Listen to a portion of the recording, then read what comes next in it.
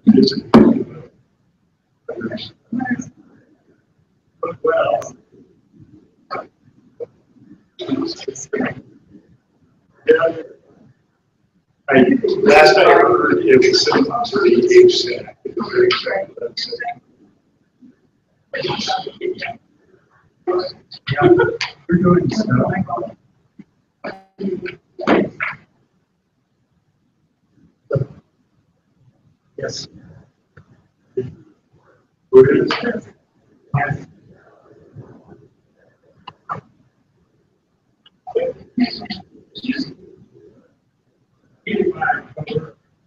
I guess my position's better.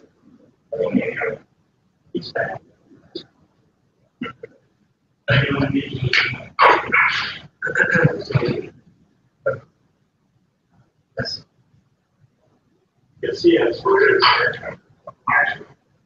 How's SLIGP going? Are you managing the SLIGP stuff? Yeah, I manage the day-to-day stuff. We're doing okay. We're finally spending some money. We hired a contractor to help us with some, all the deliverables that are due next week. So did you get, oh, this is good. Yeah, yeah, and then actually John, um, we hired as a contractor to help us with all that stuff, but we'll likely turn this position to FTE when the contract ends. Uh, That'll spend a little bit of the budget. No, just plugging along, trying to get people to understand why giving us information.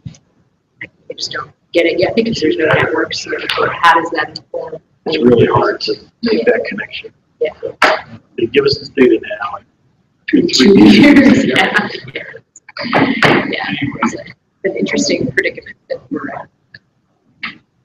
And we're finding our average response across, we pretty connected in the western state. They all, we all talk to each other and we're seeing ten to fifteen percent response rate. and That's pretty much on par with what most people. The states have been really successful. I know Vermont did really well in getting responses, like two hundred and fifty or six. which is And that's for Just the personnel numbers. the data collection, what person's calling the, um, you know, the users, the devices, um, applications, service plan information, um, barriers to adoption. That's, that's kind of what they're asking agencies to write on. We asked for a bunch of CAD data though, and I think got forty percent response rate across my CAD data, and I got like. And so they gave us a picture, I mean, granted, it's on highways, there's at least a picture to sustain. Initially. Yeah.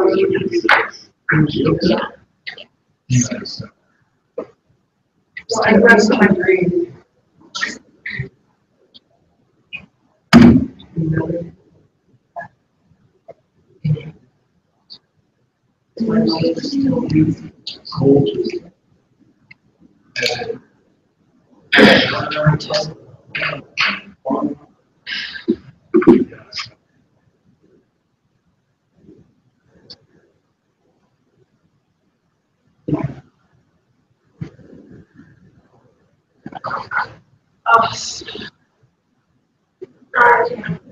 How's it going? Sure. I am so close to.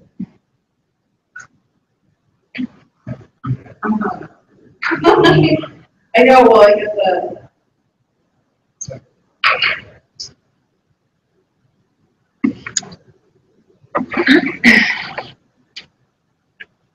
See, I'm going, John. Okay.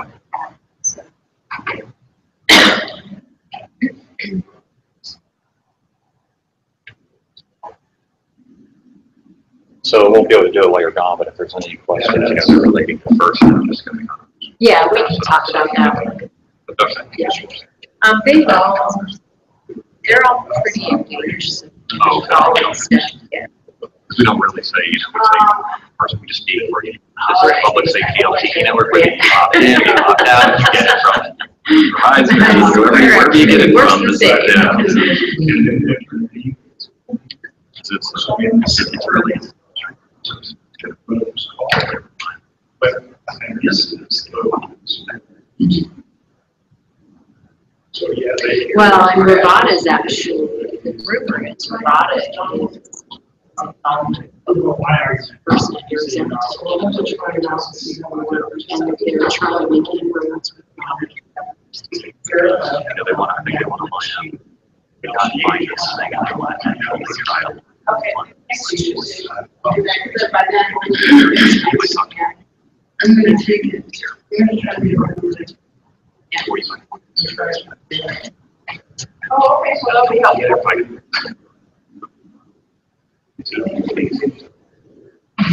talked to them, they read. Yeah. I.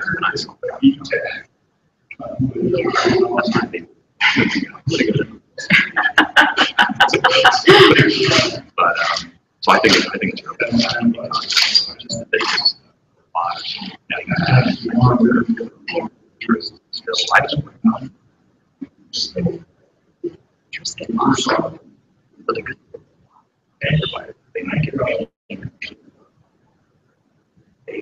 lost. But the good. Everybody, they make it. right. Driving, uh, some truth. You just hit Just, the a lot of stuff I show her wrong signs. side. So that's what it those things. Public, Social data and stuff recovery, you don't look at it in the past, but you have a spectrum sharing. They're they're gonna want to know. So. That's about everything, you'll see what. Yeah. We're just ready to go. We were ready to go a year ago. Oh, I know what I told them, when I was. doing stuff.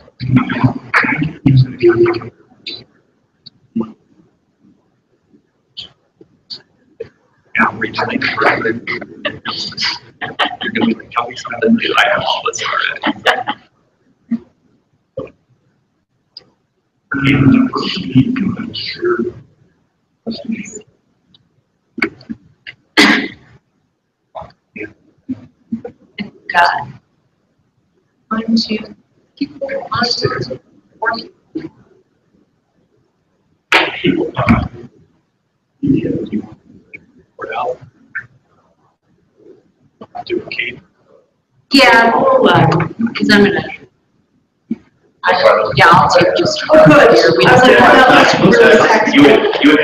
you would sleep, but I would.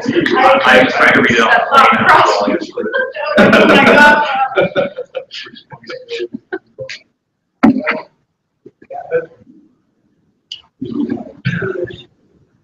You know what, I? It should after your work. So, Yeah.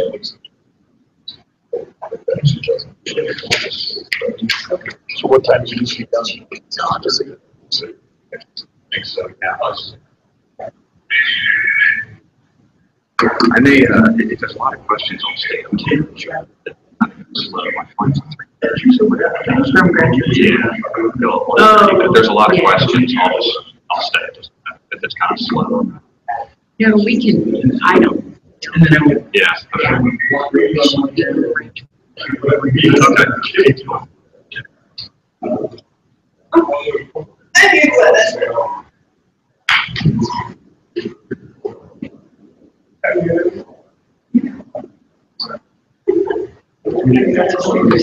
Doesn't say you get a Siri? Yeah, this is her spot. No one else can go through there. He holds her.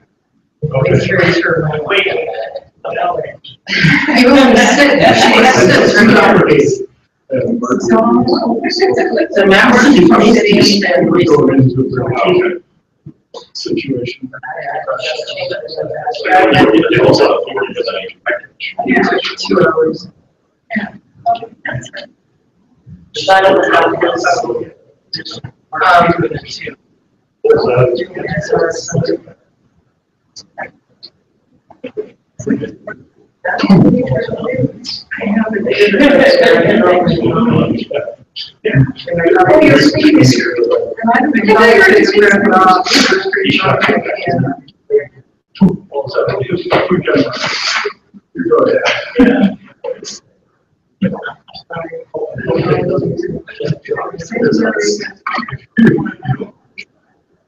And you I Okay.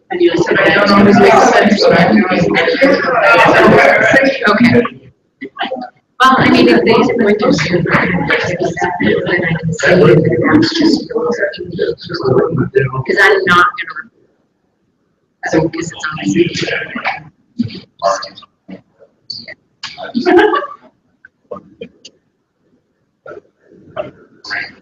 That's, just- Okay. Um, when we take a motion, you can stop it at that. So we do that. Check. Or just. This might be to discussion. There's,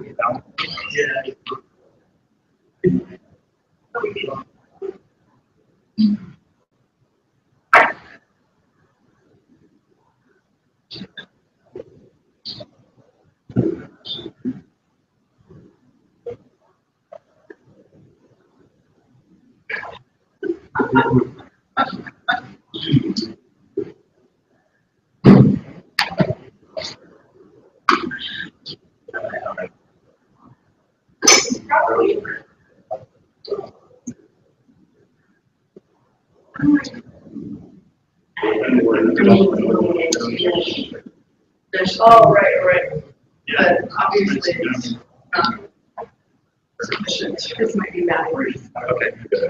Yeah.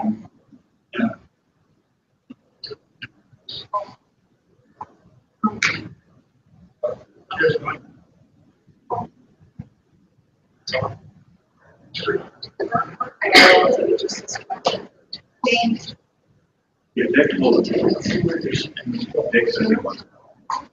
Next one. Everyone on uh, the Zoom meeting, can you hear us okay? Um,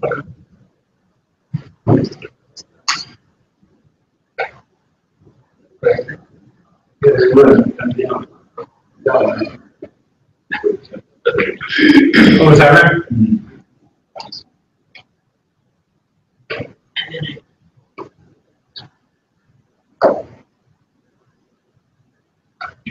right? Actually, no, my, All right, they say they can hear us, so that's. oh, okay, great. They, we just chatted. Um, so thanks to everyone. Um, my name is Kim Coleman Madsen. I'm the Public Safety Broadband Program Manager at the Colorado Governor's Office of Information Technology. Um, we're going to go around the room and do introductions real quick, and then we have a few people who are watching this via web stream as well. Uh, but first, I want to introduce Rob Dew and Sean Ward, and they're both Department of Homeland Security Office of presenting the presentation. Thank you. Thanks. Oh, uh, a couple logistics, sorry, bathrooms are out and to the right. Uh, you know where your exits are at if you need to leave. And then, uh, there's water and coffee right now, and I will actually be disappearing here in a few minutes. I'm gonna grab our lunch. We'll do a short twenty-minute break to get our food, and then we'll come back and finish the session and hopefully get out of here one thirty-ish. Is that Okay, the, the goal, I think? So, all right, thanks. Thanks, Kim. Um, do I need to? Kind of stay in that Stay area, in this yeah. area? We're Okay. streaming through the computer. We both, Rob and I have done this presentation several times, and we tend to wander around the room. So if you start wandering, somebody just say, come back to the, to the presentation area. So Someone's muted, okay. Someone's watching. Someone doesn't like that already. Yeah, if you're, if you're on the line, if you could mute. Uh, uh, I did not bring Mike into the presentation, but that's how they sound. All right, uh, every, sounds like everything good, is good now? I think so. Great. All right, uh, my name is Sean Ward. Uh, I'm here with Rob Dew, support the Office of Emergency Communications, which is part of the Department of Homeland Security. Dan Hawkins is the regional coordinator from the Office of Emergency Communications, and he is here. And uh, Dan is, is is typically the guy that when you need a regional belly button for OEC, he's, he's the man to go to. So. And he always comes to these, so he's always out in the field uh, meeting with folks, and he has some great relationships across the two states. Uh, We're going to be presenting today um, on understanding public safety broadband. Uh, We've learned that as we do these presentations, we did a couple in Utah recently, we were in Maryland a couple weeks ago. Um, We don't know how technical we're going to get in the presentation because we always kind of uh, take the lead of the audience and and folks who are who are attending the training. Um, So we may get into some weeds on certain topics, but we may keep it uh, at a higher level on other topics, but feel free to please ask questions as we go through, go through the session. Uh, again, the Office of Emergency Communications has, has done, uh, several of these, uh, training sessions. And basically what we're trying to do is to, to talk to first responders, talk to IT people, talk to, uh, the leaders in the states on the different, number one, uh, what LTE is from a technical standpoint, uh, the growth of public safety data and how you're going to be using public safety data when, when the National Public Safety Broadband Network comes online. Uh, but also the differences between radio and LTE, which is, they're very, very different. Uh, so we get into some of that as well. Uh, and again, ask questions as, as we, as we go through this. Um,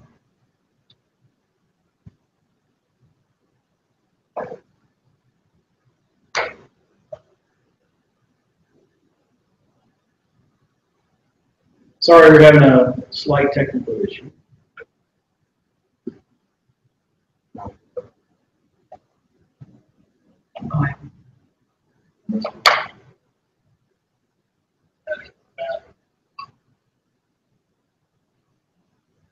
We're trying to advance our slides, just, just give us a second. Okay. All right, so um, today is broken up into uh, a few key pieces. Number one, uh, we'll, we'll talk about broadband data and public safety, how you currently use uh, data in the field. If you don't use data in the field, that's certainly a possibility, but we'll talk about uh, what we're seeing in, in other states and other agencies. Talk a little bit about documenting user requirements uh, and how those requirements will um, move over to, to FirstNet and how they will, and let Kim talk about the process she's going through with, with FirstNet and collecting all of this fun data from everybody across the state. Uh, then we'll talk about the infrastructure components of LTE. Uh, then we'll get into more specifics of an LTE network and uh, the LTE network. Uh, so any questions on the agenda before we move forward? Kim, do you want to, does this sound? No, and so this can be um, more technical or more operational, and I've shared with Sean and Rob that we're gonna, you guys are more operational people, and so at the point, if it becomes too technical, raise your hand and say, hey, you lost us, and we can, we can modify on the to ensure that the content is relevant to you and how you um, are uh, uh, working in your communities. So we don't want it to be um, a waste of time where, you know, if we get so deep on LTE te- uh, engineering that it doesn't provide value to. So before we move forward, first of all, we have to say we're not from FirstNet, we're from the Office of Emergency Communications. We cannot speak on behalf of FirstNet, we don't speak on behalf of their timeline or anything like that. Kim is, from the state perspective, is, is the point of contact for. for- Our office is the point of contact. I'm not the point of contact, but yeah. Thanks for clarifying. Sure. So uh, that's uh, the first housekeeping item. Uh, Second, let's go around and, and talk, uh, have everybody report out on whether you're from fire, whether you're from police, EMS. Uh, You want to, let's just go around the room real quick and, and have everybody introduce themselves. You want to start? Doug Williams, Delta County, IT Department. Okay. Uh, Carl Stevens, Garfield County Emergency Communications, reporting on the night center, and I'm also the ESAP rep. Steve Trevor, Hotchkiss Fire, and I'm on the And CCS.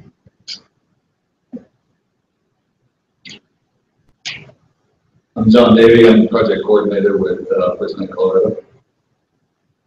I'm Dan Hawkins, still, I'm the regional coordinator for OEC for the Rocky Mountain Region, six-state region. That includes Colorado and Utah and a couple other, other states. Um, just as a matter of background, mine is primarily operational. Uh, previous law enforcement, number of years, statewide public safety communications. Been Consulting work, working in this field, five years with the, uh, dark side with the federal government. So, I'm Jennifer Dinsmore, I'm the San Diego County Sheriff's Office and Emergency Management. I'm also the chair of the All Hazard Region. And Been in, uh, emergency management for about ten years. Uh, I'm Linda Belkey. Um, Diego County Dispatch Director. Um, I'm basically, I don't no longer dispatch, but I'm basically the management. of Thirty-five years in law. I'm technology. I try to stay abreast. of it. Great.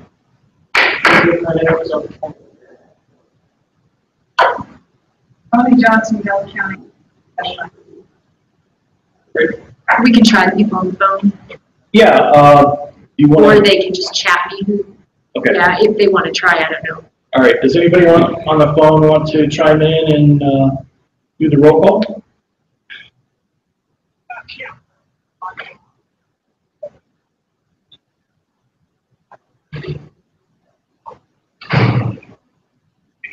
Great, thank you. Next.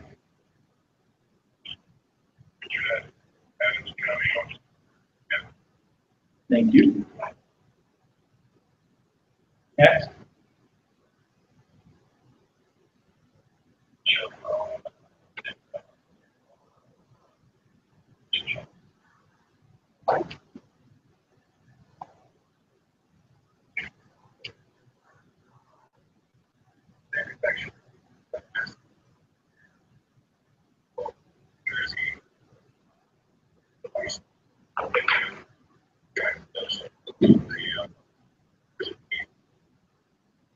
Great, thank you.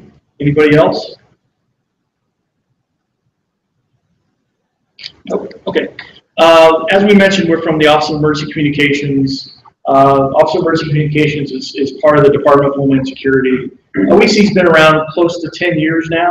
Uh, uh, You know, with interoperability issues being so prevalent, especially in land mobile radio, uh, over the last 20, 30 years, uh, it was really nice to see the Office of Emergency Communications get created. Uh, OEC basically uh, deals heavily with interoperability, uh, voice communications, but over the last couple of years has, has started to look into the, the mobile data side, uh, the site hardening side and the resiliency side of, of communications, uh, and also the 911 side. So all of these pieces of technologies are, are coming together in the field, and OEC has, has taken the lead here to to understand them, understand all of the governance issues uh, that reside with this, the technology issues, the procedural issues, uh, and the training issues uh, around all of this. So it sounds like a lot of folks in here are from the 911 PSAP side. So we were just talking earlier that the PSAP is becoming kind of the center point uh, at the local level uh, for all of these technologies because uh, what we're hearing, what we heard in Maryland just a couple of weeks ago is that the commanders in the PSAP and the leads in the PSAP are having to deal with lots of different issues. Uh, with- whether it's requests from the public for 911 data, requests from the public on body cams and, and video and things like that, uh, or requests from the media, the PSAP is becoming the center point of that. So um, you all, I'm sure, have, are starting to see that if you haven't seen it already. Uh, but with all the different technologies that support public safety, we're seeing the PSAP become kind of the center. Um, so today's Office of Emergency Communications, we do three primary things, planning and preparedness. I know, Kim, you said you worked on the SCIP plan. Uh, we've done SCIP plans and updates in all, in all the states and territories. Uh, we developed the National Emergency Communications Plan, which kind of is kind of like the Bible uh, for emergency communications priorities for, for DHS. And most of that NECP is focused on state and local issues. Uh, OEC prides itself on being able to focus heavily on state and local issues and all of the governance and procedural issues uh, that affect you all at a state and local agency and all the, the issues you have to deal with when you respond to these uh, to these incidents.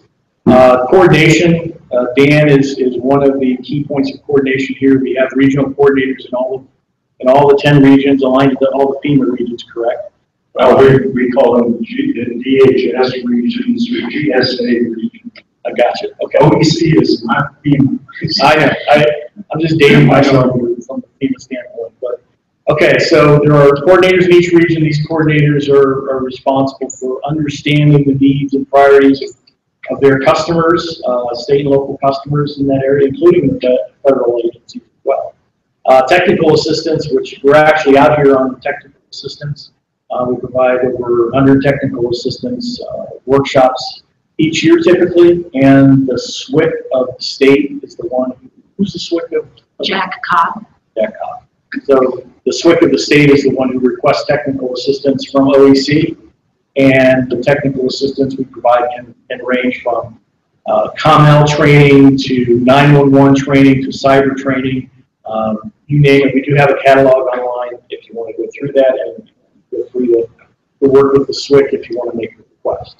Uh, and then response, uh, OEC manages the, the wireless priority service, um, the GETS program, the Government Emergency Telecommunications Service, and also um, TSP, uh, Telecommunications Service Priority.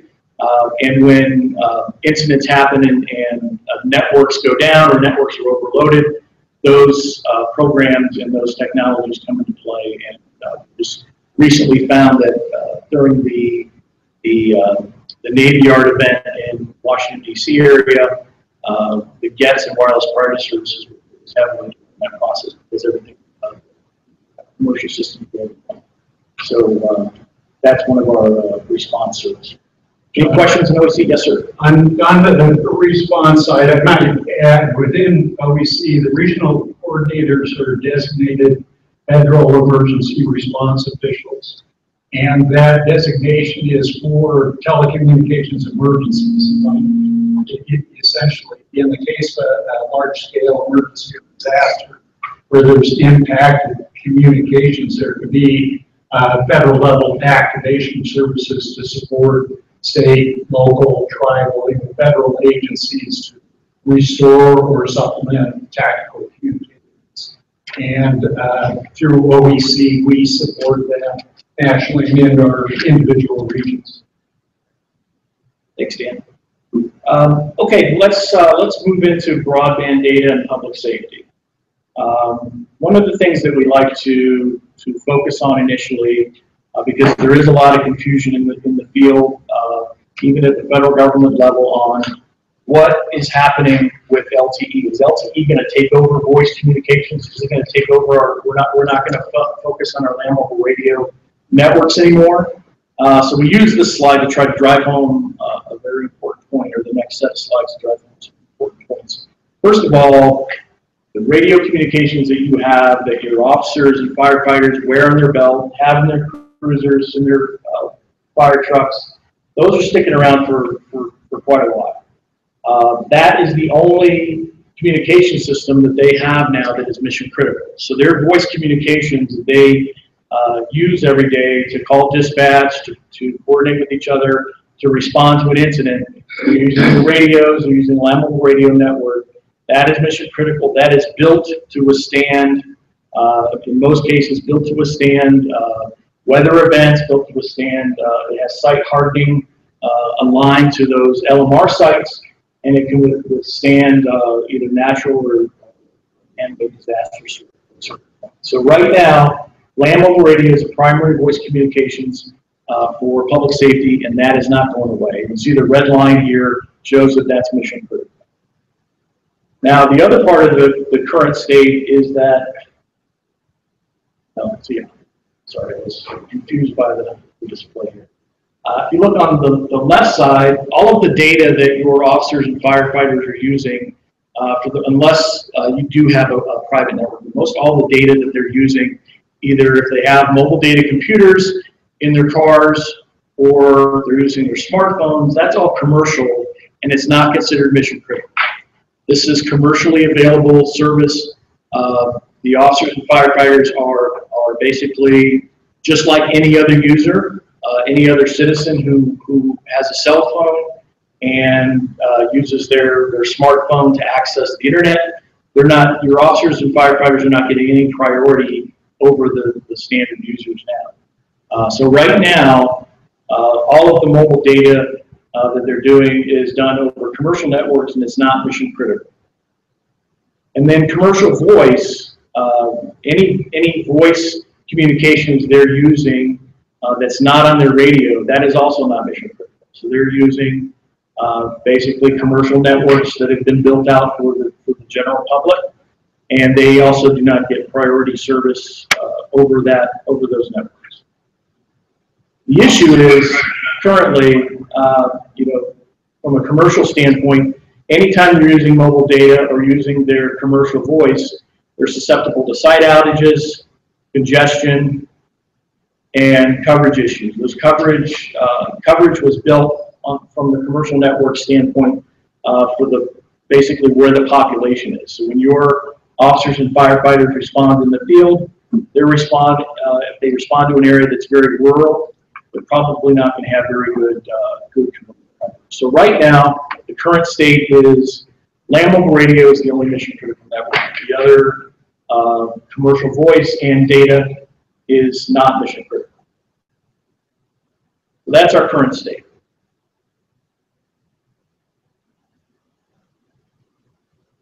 Now let's look at the immediate goal. And this is where FirstNet comes in. Again, we don't speak for FirstNet, but based on what we've heard, this is what's going to happen. So everybody's going to keep their land mobile radio.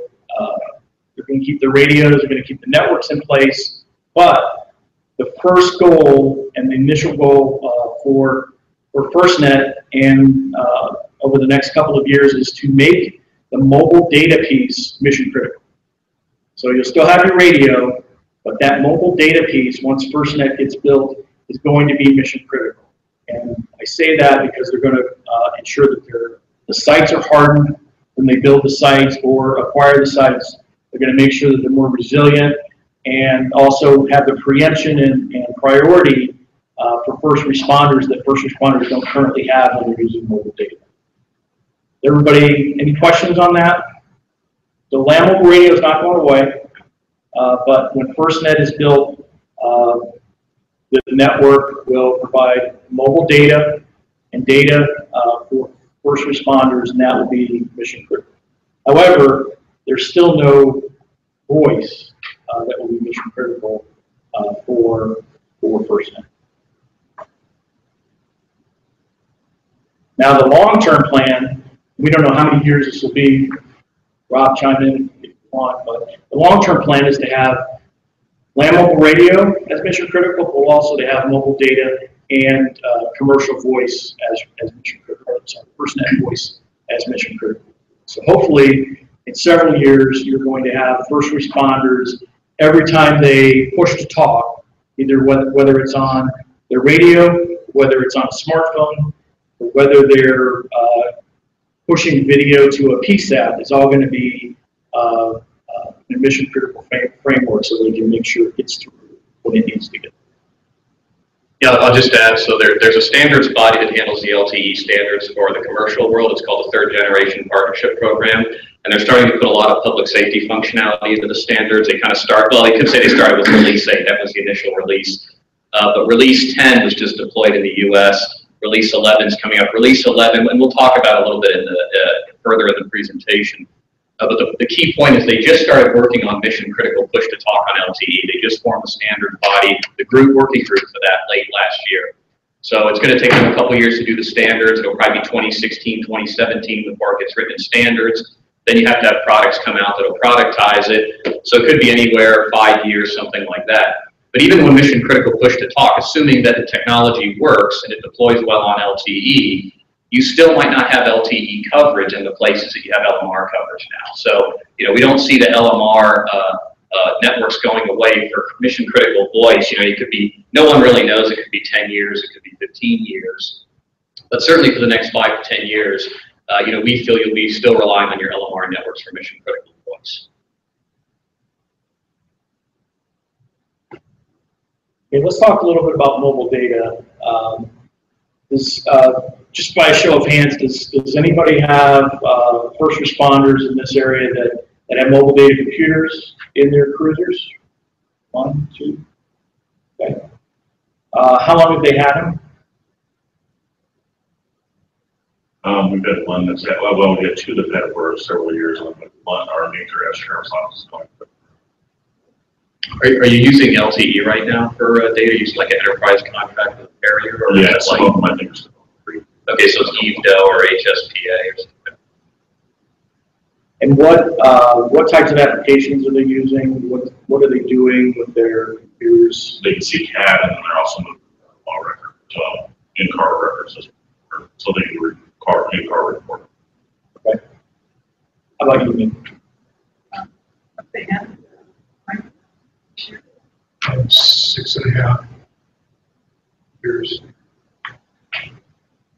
Any Because other, LTE, you know, the car and SIM card. Right. But still, access, databases. What is coverage like? I assume they're using commercial networks, what's what's coverage like uh, for them when they're responsible about the? For us, generally, uh, probably way up in the North Fork, it's, there's some spots that are weak. We have antenna extra appurtenances to bring in the signal. They'll just move to a spot where they can communicate. So it's really not too, too much of a, plus, they're gonna be putting towers reportedly up in that area soon, so. Wouldn't. Um, one thing that, that we, the OEC did a, uh, survey, and it's still actually an open survey, but based on a thousand submissions, uh, mobile data survey tool, fifty-nine percent of, of respondents said that, that data is mission critical. For many years, we looked at voice as being the mission critical piece, and it always will be, because, uh, you don't necessarily need to see video when you need, when you're calling for help. But mission critical data, data is becoming a mission critical uh, item for public safety. Uh, certainly, a lot of, a lot of times it comes down to, if you haven't had it, you don't, you don't know what you're missing, but once you get it, then you feel like, I can't deal with, I can't live without this. I can't, can't live without seeing mug shots real time or streaming video real time. Uh, so it's becoming much more important. And I will say that, that seeing in urban areas, uh, where the commercial networks are, are built out, uh, it's, it's becoming, um, mission critical much more quickly than before. What is, does anybody have any comments on that? Does everybody agree with that, that mission critical data becoming mission critical? Is anybody hearing any of that from their responders? All I know is, is an area where we don't have mobile data terminals, just because there's areas we don't even have radio coverage. Right. We're in a very mountainous. Um, I do know that, that our dispatch, we're seeing more and more requests from the officers for information to be sent to them via email, so they can try and obtain as much as they can. Um, so I, I can see the huge impact in the future on the data, um, and the need for that data to be in the vehicle. We're constantly sending shots. What about smartphones? Are your agency provide smartphones to officers and responders? Anybody who does not? That we use body cams, and then you have store. It's huge. So, so with the body worn cameras, are you going at the end of shifts and just putting them into a cage and then they're to uploading it? So they're not really looking at anything real time yet. They, they see it They can, if I put the clients on their MDCs, they can watch it right there, but they can edit when they're out, field and things like Because we see, I mean, uh, well, we have a slide coming up, but the gen, you know, the general public has really moved a lot towards video. So like, you know, Verizon in the next year, they're, they think seventy percent of their traffic is gonna be video. And, uh, it's not multicast video, it's not the same video stream going to everyone, uh, and everyone's getting their own stream. And especially if you do that on the uplink from the terminal up to the tower, you can quickly sink even an LTE network. I mean, if you look at a, I I was up in Philadelphia, and they're doing a lot of trials with uh, body worn cameras, and they looked at all the vendors, and they're looking at 720p HD cameras, not 1080, uh, but those can go from 2.2 gigabytes to 2.7 gigabytes an hour of content if you're doing it constantly. Well, if you were to stream that real time, at the low end of that, that's five megabits per second, and that's a very fast uplink, even on LTE. In fact, if you're at the edge of a cell's coverage in LTE, you probably won't even be able to do that. You're gonna have to go shift down to SD or your uh, standard definition video or move closer to the cell site. So, you know, it- all the applications you're using now, you may be limited by, you know, data caps on your enterprise uh, contracts with the carriers, or maybe you had congestion, you were competing with the public. Uh, You know, once we see LTE broadband for public safety starts really spreading out there, we don't see any reason why it won't, won't go more towards video similar to what the public's done. So there's gonna be a very big data demand, but, you know, you, you, you would be the experts in your use cases to see, even if you think you have a need for video on the downlink, uh, or the uplink. This takes money. Yeah.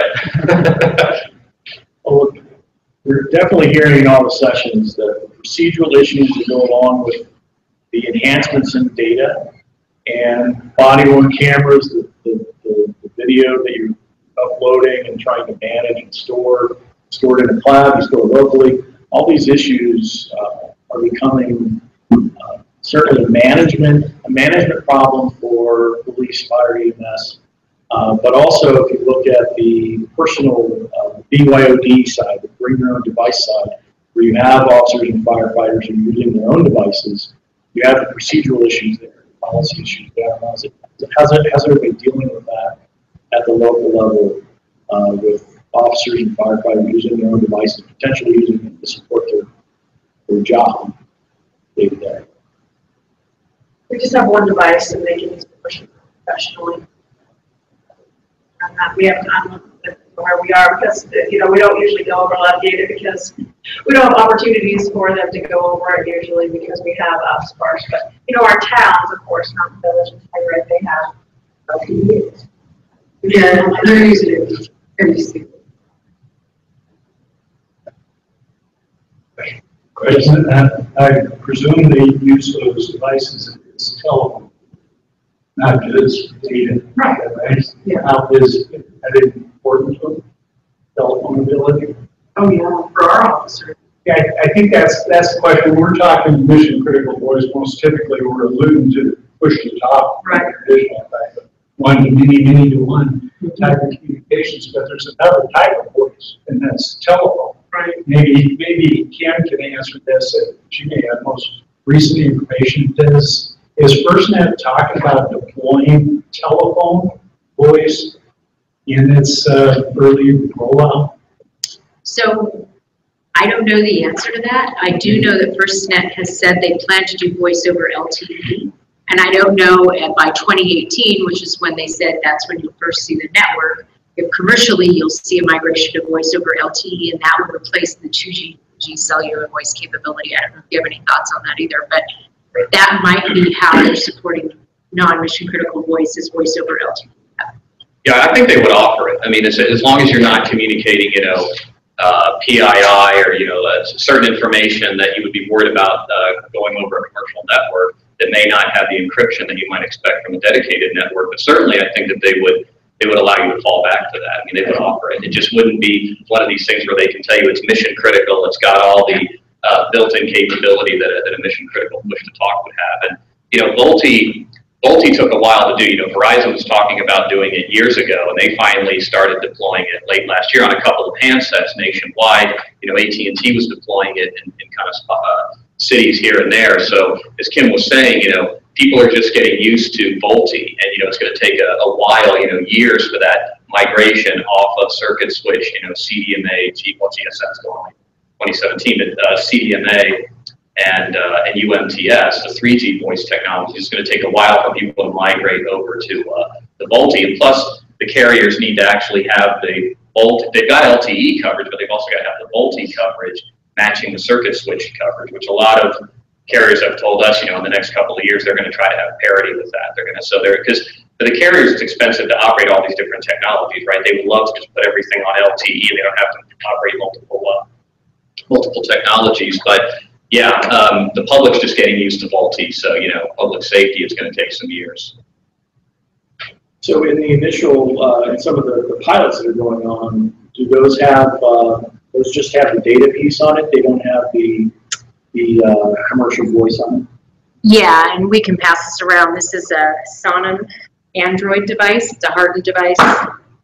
And they want us to do that, so um, I could chuck it.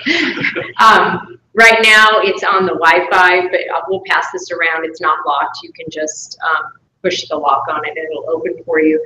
But it does not do cellular voice. Currently, um, it's really a data device. I think um, as they work with the AT&T and Verizon, Sonim, the manufacturer, it will have that capability, but this device does not.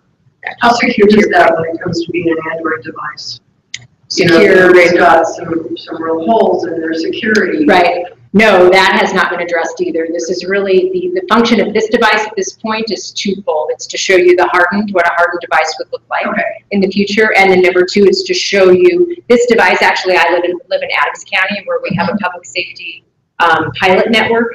And I can access the Adams County Public Safety Private Network with this device. So that's really its function today. And so does it actually have the security built in to meet CJIS compliance there? Not, not in its, not in this. Not format. in- in- Correct, yeah, they'll be having to Will they address be that. moving to? They'll have to address that, yeah. For, for it to be marketed to public safety, absolutely, yeah.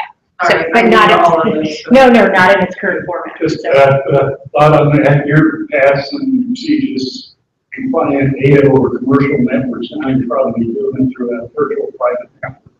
Some form of Right. encryption, that same approach would work Would be across other equally- types. Okay. Yeah, yeah, they'll have to have VPNs, and you know, when you set up VPNs and you do IPsec, Sure. uh, you do IPv6, you know, then you start, you know, then you start eating into the capacity to have the extra encryption and security, but yeah.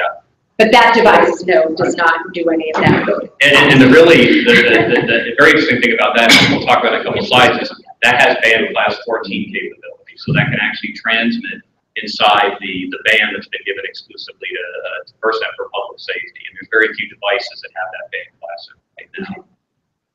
I would suggest that between mission critical and not mission critical, it's gray, not black and white. Right. And you see a lot of officers or agencies or whoever using their cell phone a lot stuff that's almost mission critical.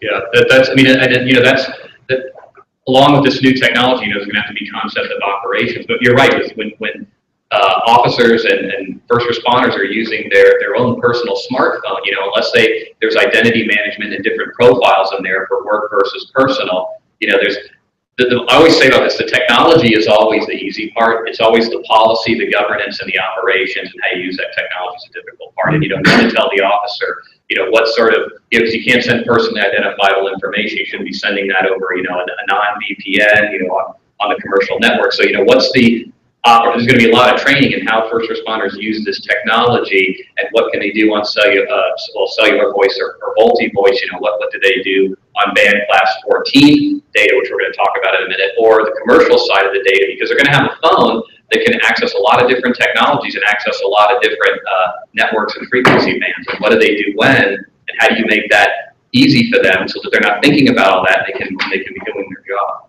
It's gonna be, it's gonna be really, it's the operational side is really gonna be the hardest part of, uh, of, of, of uh, LTE public safety, not really the technology. One of the things we, we try to push at OEC is, uh, FirstNet's coming in a, in a few years, but you're dealing with mobile data right now. You're dealing with all of these smartphone issues, procedural issues. You can't really wait until FirstNet gets here, then have to deal with all of these governance, SOP, procedural issues. So think about these, uh, issues now, like when your officers are using their personal cell phones, what are they using them for, how are you securing it? uh, ensuring that the identity management process is, is down and also the security piece. Uh, because we were talking earlier, if, if you're in a foot chase and you, you your smartphone in the foot, foot chase, what's your, what's your procedure? Uh, and it's their personal smartphone. You have a procedure. They have taken evidence picture day on that, on that smartphone. So, uh, agencies are having to deal with these things now. Um, and OEC is trying to, trying to get folks to focus on them now so that when dealing with, uh, FirstNet coming down the line, pushing out these, these smartphones, you have, you have a good runtime to, to deal with these things in the procedures and policies. I think one of the big things you see is, is, uh, officers, especially detectives, will use their cell phones for a good portion of what they do day to day. Because they're doing, uh, they're talking to people on the phone, making lots of phone calls. Uh, it's just different. If you, uh, you know, typically if you're in uniform and responding, the radio is your priority, but if you're, uh, following up on investigations, you're using your phone much more. Any questions on, on the mobile data piece?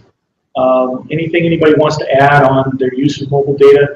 What does everybody see coming, uh, in the near future, just on the commercial side? Does anybody have plans to, to push out more smartphones to folks with new MDCs in the cars? Anybody working through that process now? You know, one of the things that, pardon me, the sheriff's me looking at, because we do have a limited for lack of a better, you know, tower coverage, for lack of a better terminology. And CAD systems can be incredibly expensive. We are looking into an alternate commercial AVL type program, um, to where we can connect the devices to without having to pay the exorbitant amount program from, for, you know, for free agency center. So when you start looking, so I do see that, especially from a smaller agency standpoint, we're going, you're gonna start seeing people reaching out more to those more cost-effective, um, type of devices, data to track on babies. Especially where it's just, it's tough to find the money. I think somebody brought up earlier, what is the, what are your citizens demanding? of you? Know, with, when we, I'm gonna get to this next slide, we look at, we do our after-action reports using what's called the emergency communications ecosystem. From nine-one-one, text to nine-one-one, we look at, um, both radio and mobile data. We also look at, uh, the technologies used to, to push alerts out, put alerts, warnings information, uh, but also the social media side, how, how uh, citizens communicate with each other and communicate with departments during an emergency. So citizens, uh, you know, are much more savvy typically than, than we are. Are saying, "What did you get this? Did you get my post on Twitter? God, who are you? I, I, I don't know if we got it or not." Agencies, especially the PSAP, are having to deal with this. So, what are you seeing from your citizens? Are they demanding change and you can't afford the change or you can't afford the process to, to get to that? I haven't noticed any of that. But I have, not- I know that, you know, they do rely on, rely on um,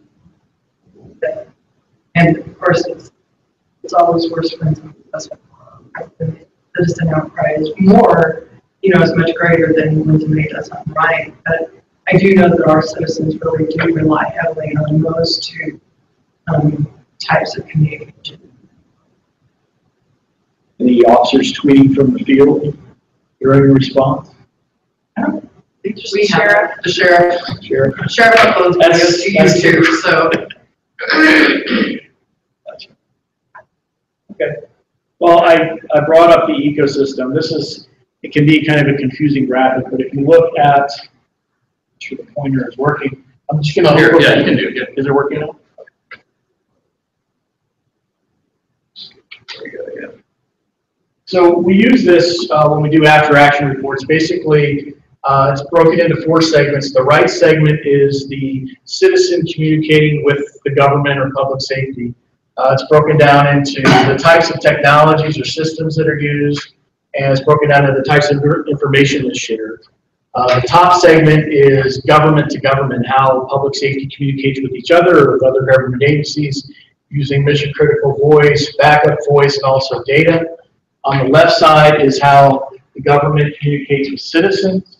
The technology is there, and we break it down to outdoor warning systems, which are very, are very basic and have been around a long time, but it's something that, that we often think about in the emergency communications context.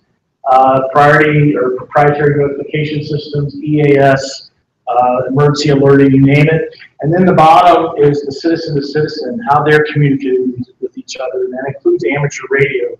We know that amateur radio is a big deal when everything else doesn't work. Amateur radio is typically still there to communicate. Um, so this is how we look, how OEC looks at uh, emergency communications from all these pieces. Now we don't have the time or money to focus on all these pieces. We still rely, we still focus heavily on the, the mission critical voice and 911 and mobile data. Uh, as a, as a public safety manager, if you're managing a PSAP or you're a commander, you have to think of all these pieces because your citizens are going to be demanding you to think about all these pieces. So this is how we kind of look at the mobile data world is growing so big. It's not just about LMR anymore. It's about all these other moving parts and all the policies and procedures. And then we use this Rubik's Cube, Rubik's Cube graphic. You see mobile radio, and that front, that front piece is all the issues related to land mobile radio. On the top is mobile data and all the issues you have to deal with there. And then the, the right side is 911, that's, that's OEC's focus. Um, so all of these different, different issues with standards, priority, and SOPs, and things like that. Any, any comments on this? Does it make sense? All right, so um, we're going to talk quickly about documenting user requirements in the consultation process. Do you, you, do you want to give everybody an update on the process? Sure. Um, uh, So we actually have a first pass of data due to FirstNet on September 30th. I think you're all on our newsletter list. We've been kind of bombarding agencies, asking them to participate through our Google form. We don't use the MDST. I know you guys will hit on that a little bit. We use a Google form uh, because is a Google shop now. And we're really just seeking uh, information on the number of users, devices, applications, kind of general information on the service plans, and then any barriers to adoption. We know cost and coverage oftentimes are the, the biggest barriers. And that information is going to go to FirstNet on September 30th, um, in addition to input on what we think Colorado's initial pass on coverage should look like for, uh, that will inform the RFP that FirstNet um, has said they plan to publish at the first of the year. And then there'll be in an RFP process for pretty much all of 2016. That will not stop us from continuing to gather user requirements because uh, I kind of consider the relationship between the states and the FirstNet, especially once the RFP gets published, as a negotiation, right? It's going to be a discussion with them about what our requirements are, and those are going to change in the next two years as they go to RFP and select a partner or partners. And then we, um, our requirements are going to change internally because agencies are going to change the way they do operations. Carrier coverage hopefully will improve for all of you guys in the commercial space over that time, which will impact what our coverage requirements on. So it's going to be an ongoing conversation. It's kind of the way I see it. Great. Yeah. And when, um, when FirstNet's focusing on coverage and the way we're, we're advising folks in the field is basically, um, FirstNet's interested in where do you need coverage and consider this, this is mobile data coverage. Where you need mobile data coverage, uh, is the first piece, and then how many users do you have? Because the number of users drive capacity and, and other topics as well. So how many users do you have? What are they going to be doing at those locations So specifically? Uh, not just the, the standard day-to-day operational locations, but areas where you might have uh, an event once a year, or you might have a, a, major event like a football game or something like that. Where you're you going to have a large number of users uh, in a certain ge- in a certain geography, and what do they need to be doing there? So I know Kim has been working with this. That's part of the, the why you're why she's collecting all of the data for FirstNet is to try to drive towards what this coverage, this first uh, this first uh, raft of coverage is going to. So I was happy to hear somebody from the GIS side was GIS person. So uh, one of the biggest benefits that we've seen in the field is when you have really strong uh, people who can do the mapping and, and put in the different layers of coverage, and Rob will, uh, Rob will talk a lot about this in the social data as well. But the better you know your, your coverage requirements based on real data, uh, the better that negotiation process is going to go that, that, Kim alluded to. Uh, the better case you can make for why you need coverage in certain uh, so Rob has a couple of, of really cool slides that looks at social data, looks at the, the movement of people, uh, either on hiking trails. I don't know what else. What else do you have in there? Um, social Well, it's, data? it's, uh, well, when we get to it, it's basically, you know, uh, a lot of the census data you see is where people live and work. But you've got things like Burning Man in Nevada, you've got Manhattan's a great example. You know, they'll say there's three million people there, but then it goes up over nine million during the day. So, uh, what we tend to look at is a lot of geotag social data. So, it, uh, you know, and I think I'll, I'll save it when I get to there, but basically it gives you a much better idea of where people are moving and clustering during the day. And ultimately, for public safety, their goal is protecting loss and property. So if you know where the public is most likely to be at any given time during a 24-hour period, uh, that will help you when you look at actually your site placements to get that as close to where you see the public congregating. Or when you're negotiations with FirstNet, when they pick a carrier, like say a Verizon or an AT&T or whoever is their infrastructure partner, when you look at those sites, you want to make sure those sites that they're recommending uh, for putting the LTE public safety, uh, band class fourteen equipment on aligns with where you see the public and where you see the biggest risk for, for, uh, life and loss of property. But we'll, we'll get into that a bit more. I just want to make one point on the commercial coverage, by the way. Uh, you know, this is a lot of marketing stuff, so this is not necessarily guaranteeing that you're gonna, we know marketing versus when you go do drive tests and you take what we call an LTE scanner and you go out and actually scan what the throughput is, it's, uh, it, it's quite a bit different in terms of coverage and capacity. So I just want to make it clear, these are kind of marketing. So if you see an area you know where coverage isn't any good, you know, and it, it also, it wouldn't just be LTE, you know, this is 3G, 2G, it's all, uh, commercial mobile, uh, technologies, uh, together. Um, and, you know, when commercial providers are building their networks, they're looking at population primarily. But you have a very different, uh, very different problem to attack in this. So the more data you have, the better data you have, the better analysis you do, uh, the better you'll be able to identify where those coverage areas are. So these, these are some, uh, static maps you've had in here for, for a while. These are your critical infrastructure. You just pulled these from, from some of the data we had. I'm sure you guys have uh, many data sets on this Google Earth. Uh, your public safety population, how many agencies do you have, how many officers, firefighters, sworn, uh, police officers, but also uh, fire uh, firefighters who are both volunteer and professional. Uh, you have to include all those pieces. Let me just end on the OEC tools. I know you mentioned the mobile data survey tool.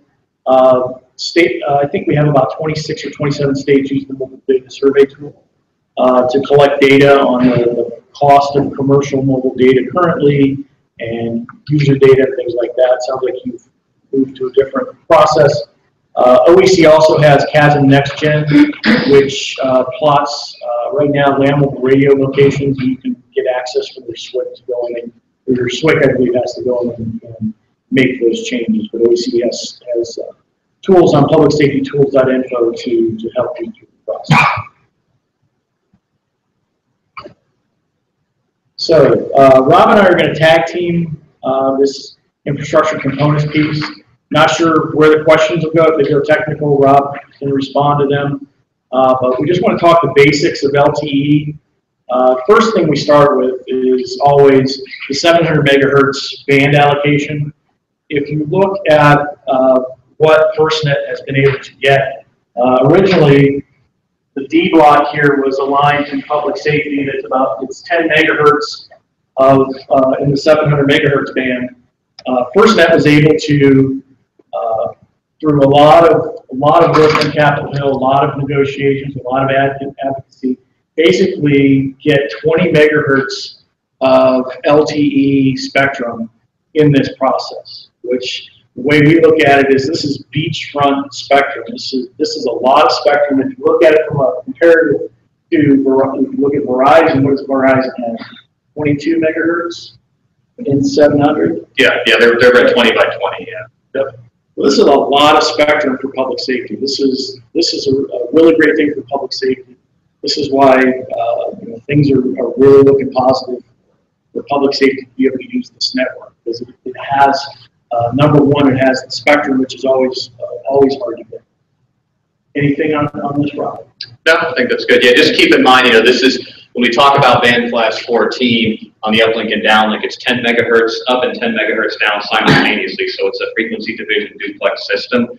And so we talk about band class uh, 14, we're talking about this upper 700 megahertz, 758 to 768, 788 to 798. So that's, we talk about the design slides later on, and when we say a band class 14 site, that means like a cell site or what they call an evolved E node B and LTE. It's going to be using these these channels here. And you can see the commercial carriers are, you know, adjacent to them. So you say like a band class 13, you see is, uh, is, is Verizon. AT&T has in band uh, 17 and band 12. So this is very uh, lucrative real estate to have frequency spectrum. It's very good in terms of propagation out of rural and suburban areas. It also gives you good in building penetration, assuming that the building's not made out of that green stuff that reflects uh, 700 megahertz. But uh, in general, it's a, it's a very prime spot. This is where all the carriers wanted to have uh, spectrum real estate for their LTE networks.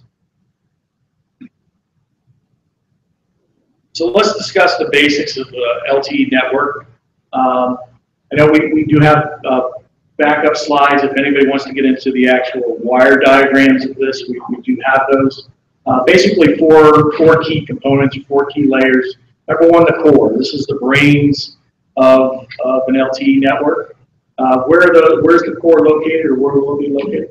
Uh, we've, we've got a chart coming up about that a little bit later, but what we call the evolved packet core, like Sean said, it's kind of the brains of the network. Uh, you see here, we've got user traffic and signaling. So it breaks up what they call the control and user plane, so signaling and traffic. Now, the user traffic parts of the core, most likely you want to have that distributed out to regions because that's carrying your traffic. So you want to try to offload traffic as close to the edge of the network as possible to keep your backhaul costs down. The signaling part, however, can be located a little bit further away. So we don't really know exactly how the core network for FirstNet's going to be or, or a core network would be for a LTE public safety network that you deploy. You could have your own physical core components that are just for public safety, and then you share backhaul and towers with a commercial carrier. Uh, if you're doing a, a, a VoLTE, you're going to need something called an IMS core, where you may want to actually bring a little bit more of the processing further into the core. But I generally think for the purposes like here, you know, you might have signaling core components, for example, in Denver, but you may have uh, user traffic components, which they call a packet gateway or soft gateway, uh, closer. So you might have one in Grand Junction if you have an internet site there. Uh, when you have these core components that handle the user traffic, ideally you'd want to locate them in network-to-network interface or data centers where you know there's a lot of backhaul and fiber and where carriers are. But you want to keep the, the user components that are carrying the traffic as far farthest to the edge of the network as possible. Otherwise, you're going to have a lot of backhaul and transport costs. The signaling is a lot less uh, of a data rate, obviously, so you can bring that, you know, maybe all the way up to, say, for example, Denver in, this area. Signaling. Yeah, that's just, so, so the traffic is all your, you know, data. Signaling is, is basically controlling the applications, like how you get your priority, signaling to devices to do handovers between cell sites. It's basically the kind of commands of how the different components of the network are going to work. Whereas the, the user traffic is actually you know, your voice call, your FTP, your video session, that sort of Second is the transport. Uh, I know people have heard about backhaul, fiber piece, or the microwave will also be included, correct, Rob? Yeah. Yeah. Hopefully Ethernet micro. Right, but, uh, yeah, so when you look at transport, it's basically how, uh, information gets from point A to point B. Uh, it's typically, uh, fiber, case of a microwave will also be involved. Uh, the next two are the ones that, that you'll probably be most involved in. Radio access network, which is, uh, I guess, most comparable to a land mobile radio network where you have sites, uh, that provide the coverage uh, and the signaling and user traffic. And then uh, the funnest part really is the public safety user equipment, which is what everybody's seeing. This is really what's what's going to be in your officer or firefighter's hands or in their cars. Um, and that's that's the final piece, and that's the piece we're going to be dealing with. Uh, the radio access network, deal a little bit with that uh, in you know, looking at what your hazards are uh, in those areas. But FirstNet is going to be obviously intimately involved in all those pieces. Anything you want? Yeah, so this will be, you know, mostly you'll be negotiating, I suspect, with person on the radio access network. You know, where are sites going to be? Are they located in places that give coverage to your first responders and the capacity they need? You may get involved a little bit with the core network, like I said. If you've got packet data networks or data networks that, that, that, that you're, you're running your public safety applications over, you would want the FirstNet core pieces to be co-located with those so that you know you don't have a lot of latency in terms of data transfer. You're not dealing with a lot of backhaul costs, but primarily most of it will be in the radio access network, where, where the site's actually going to be placed to meet your coverage and capacity requirements. Does that make sense, or uh, How, how technical do you want um, us or Rob to get on some of this? if I start getting technical, just go like this, just bring it up, bring it up. What, what I'm going to try to do later on when we talk about the coverage and design is I'll, I'll try to go into a little bit of, of uh, the detail of it, but it's really more uh, some of the parameters that you should be looking for and some of the type of values. Like when you get, because as Kim was saying, uh, you're, you're collecting a lot of data now. The data is going to go into FirstNet. FirstNet's going to release their comprehensive network RFP early next year, and they need to have all this information from all the states so they know kind of what's the whole volume of, of, of really devices that that they're looking at. So that when they negotiate with a carrier or an infrastructure uh, partner, uh, they can give them an idea of, you know, how big the network's going to be, how many users, how many devices. But then what's going to come out of that is probably, and I'm just guessing, maybe 2017, they're going to be bringing you state plans, which are going to be, okay, you gave us your coverage and capacity requirements. Here's, and based on the agreement we've done with our RFP winners, you know, which could be a nationwide carrier, could be content providers, we don't know. Uh, here's where we're, we're planning on putting your sites and here how it's going to, here, here's how it's going to be designed. You're going to want to look for some certain values and parameters with that, like a signal to interference to noise ratio, you know, capacity and coverage plots showing cell edge throughput. You know, is this the kind of throughput that you want in that area? So I'm going to try not to go too much into detail, but I'll try to keep it at a high level. But if you can, I'll, I'll point out certain values or parameters or concepts, just keep in the back of your mind and, and hold on to these because uh, you know if you're part of the review with Kim and others of these state plans coming from FirstNet, you're going to want to ask them, well, what about this? What about that? Have some idea of the of the questions to ask during the negotiation. And so, uh, let's take a walk back and just uh, talk about the difference between LMR and LTE, because there's a significant difference uh, in many, many aspects, but it is, it is not a one-to-one changeover, so, or, or transfer. So if you're using LMR now, using your radio, you go to a certain location, you know you have coverage there, you can put 20 people in that area and still have the same, the same coverage, push to talk, unless you're, unless you're walking on each other and push to talk at the same time, you're gonna have coverage. LTE is different. Uh, LTE. let me just start, let me just say, what they, the, this slide and the next one aren't in your handouts because we were talking to Kim and, and she had said, you know, it might be good to do, uh, some LMR comparison. So we'll have a PDF of the final one and you'll get a copy of it. So sorry, you don't have this slide the next one in your presentation. Yeah, go ahead. No, no, no, I just wanted to say that, no. Continue. No. Oh, you want, to? okay, okay, so, so I, I've been doing commercial wireless for about twenty years, I'm not an LMR expert, but I know that LMR designs are pretty much done to give you kind of a static and guaranteed coverage area for delivered audio quality or some kind of kilobits per second. In LTE, in LTE, you've got this ten megahertz channel and you have different sectors and you're giving people data uplink and downlink at the same time at the same frequency. So you're sharing the same quote unquote channel at the same time in the same. Do you know what the concept of a sector is? Am I, if you've got a, a cell site and you've got three sectors, each covering 120 degrees, within each of those sectors, you're using the same, actually in all of the sectors, you're using the same channel at the same time and all the adjacent sites as well. So, oh, okay. So LMR's got this, this kind of static coverage area where you've got a certain delivered audio quality and you're all having your own different channels in, inside of that. With LTE, in each of these sectors, you've got the same frequency uh, and, and, and the same at the same time. And what happens is you get farther away from the site here. To my understanding, you're going to get a delivered audio quality here. It's going to be similar to the delivered audio quality you get at the cell edge. With LTE, it's much different because LTE is very efficiently using these time and frequency resources. So what happens is you go farther out here, you start dropping in capacity. Now, you'll have very high capacity here towards the center of the cell, but as you start moving out, you'll start dropping uh, capacity. And what happens is that if you start adding, you want to go ahead and, as you start adding users into that sector one there, you start slicing up the available capacity and throughput that you have in that sector. Now, for 10 megahertz, uh, the theoretical peak data data is going to be 150 megabits on the downlink, okay? But you're never going to see that. That would be an ideal situation. You're the only user on the cell. You're sitting right underneath the cell site. You've got no adjacent sites around you. You have the, what they call a category five device, which can do different spatial multiplexing, can do very high modulation schemes. You're probably going to see something, and we'll show you, and I'll show you some of the designs that we did, you know, somewhere maybe 25 to 40 megabits actually on the downlink. But all of that has to be shared amongst a lot of different users and they're doing different applications. Some are doing video, some are doing texting, some may be doing a multi-call, and they're all going to be sliced up differently, but they all have to use that same resource.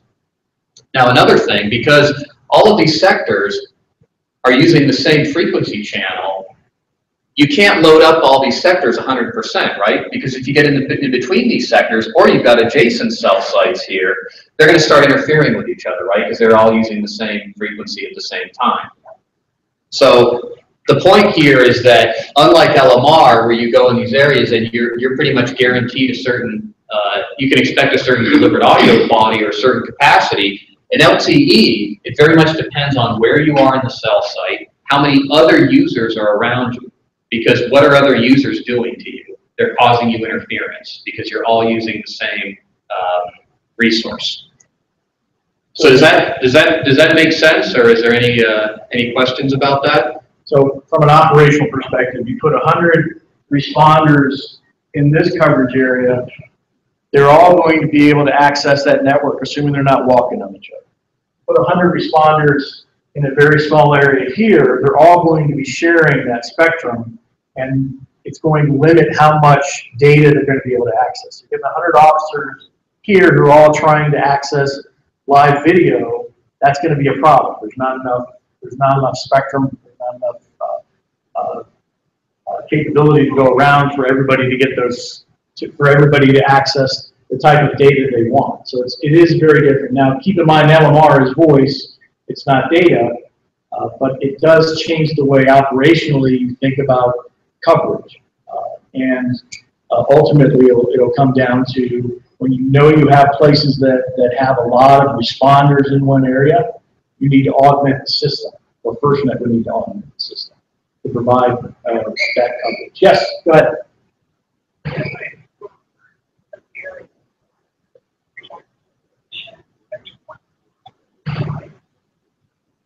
Yes, the, that's on the LTE side?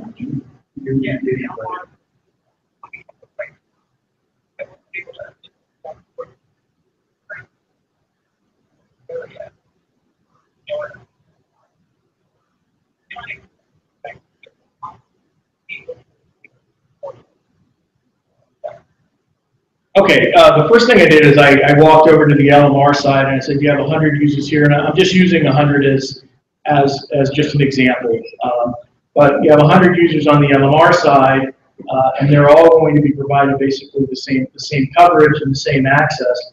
But you put those same number of users who are, who are demanding different types of data on an LTE network, and they're limited in, in what they can do based on what, what their demands are and the throughput they have. Rob, you wanna expand on that at all? Yeah, so yeah, the, the, the hundreds, uh, you know, was just an example, but yeah, you would assume the hundred, uh, are spaced at different areas within that sector. So you might have some in the dark green, which means they're getting a higher modulation scheme or higher throughput. Some of them will be in the, uh, the medium green, so they're a lower modulation scheme, so their throughput decreases. And then some will be at the very light green, which is at the cell edge. And at the cell edge is in LTE where you really start to tax the resources of the cell. And we'll get into this in, uh, some slides later on, but you usually design coverage in LTE uh, down to a minimum uh, cell edge throughput on the uplink and downlink. And that's usually somewhere, you know, 768 kilobits per second, one megabit per second, two megabits per second. But uh, in that scenario, uh, you can think of the orange uh, dot there in sector one. If this sector was designed for a minimum uh, downlink throughput of say one megabit per second, that one user, that one orange user, if they had a video stream that they were looking at, uh, one megabit per second, they would be using all the resources in that sector. So all those different colors you see in the LTE spectrum bar, those would all go to orange if that user uh, was the only user in that cell and they were doing, say, one megabit per second, if that's what the cell edge was designed for. So the thing in LTE to keep in mind is that there's a, there's different modulation schemes and it's dynamically changing uh, the, the throughput that each user gets based on where they are in the cell and what type of application they're trying to do.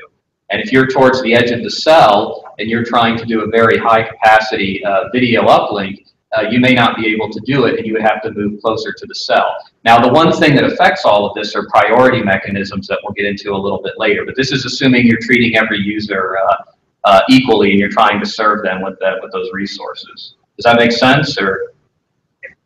Okay.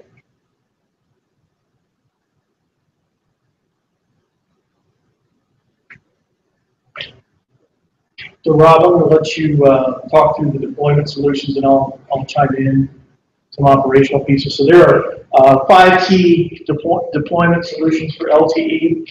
The three on the right here are fixed, small cells, macro cells, and boomer sites, and then the two on this side are deployable, uh, solutions, which are either on-net, uh, deployable solution or, or an off-net deployable solution. I'll let you go through the details of each. Okay, so, uh, can you hear me on the, on the conference bridge? Okay, sorry, I'm, I was just stepping away a little bit from the computer. So if we look at the far right, uh, typically, uh, most of the population is, is concentrated in, uh, dense urban, urban and suburban areas. So usually, now, capacity in LTE networks, which is very similar to other, uh, wireless technologies, is really based on the bandwidth that you have, which we know is fixed, it's ten megahertz up and ten megahertz down. The cell spectral efficiency, or how many bits per hertz you can get out of each cell site, and the number of cells. So the 10 megahertz is limited. We can only get so many bits per hertz out of the uh, out of the cell, depending on how good the, the cell vendor is. So what we have to start doing is increasing the number of sites in a given area. So we know in dense urban, urban and suburban areas, we have uh, small cells, pico cells, femto cells, very small cells, which are trying to concentrate more and more capacity in a much smaller area because the population density is much greater. And these are going to be typically uh, fixed cell sites, small cells going on light poles or indoor distributed antenna systems. Or, you know, they could be deployables, which might be brought in for a, for a special event or for an emergency in an urban area to even have. Starts decreasing and we start going out into suburban and kind of the outer parts of the city, you'll start getting into macro cell sites, which are bigger sites. They're covering a much wider area because there's simply not as many people uh, in that given area. So the cell sites start spreading out uh, apart from each other because you just don't have the density of population, you don't have the capacity. Uh, so you get out to macro cells, it could be one to 10 miles. You could also have in urban and suburban areas, you could have macro cells providing capacity as kind of like an umbrella on one frequency band, and then small cells sitting underneath them providing even more capacity at a different frequency band. But for the frequency that we have with, uh, with, for example, FirstNet, we've got one frequency. So you have to be very careful managing macro cells and small cells to avoid interfering with each other. As we go farther out in the rural area, we start getting into these more boomer sites, which I think are more typical like LMR sites. They're up on high places, they cover a very wide area, you know, 10 to 25 miles, they could cover 50 miles. Um, I've seen a lot of uh, the LMR plots here in Utah